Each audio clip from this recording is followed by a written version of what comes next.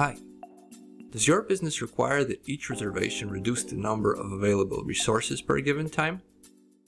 The number of available equipment, rooms, or even personnel can determine the number of available slots for any given opening. Let's begin by enabling the Related Resources feature on the Custom Features page.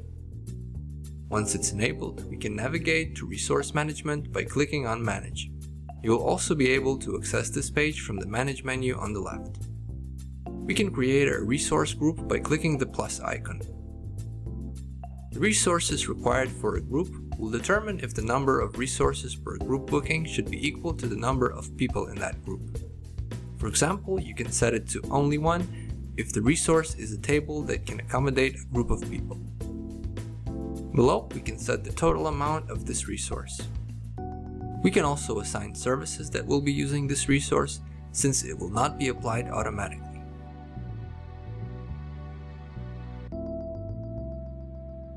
Later on, this can also be done in Manage, Services or Classes, Related Resources.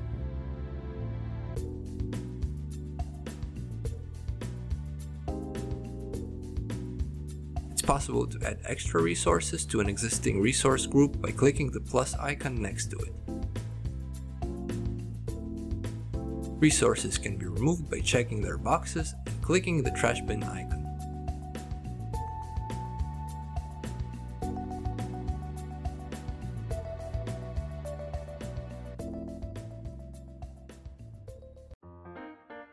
We hope you found this video helpful.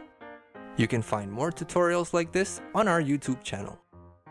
Please do not hesitate to like and subscribe, as well as check the links in the description to follow our social media pages. Thank you for choosing Simply Book Me.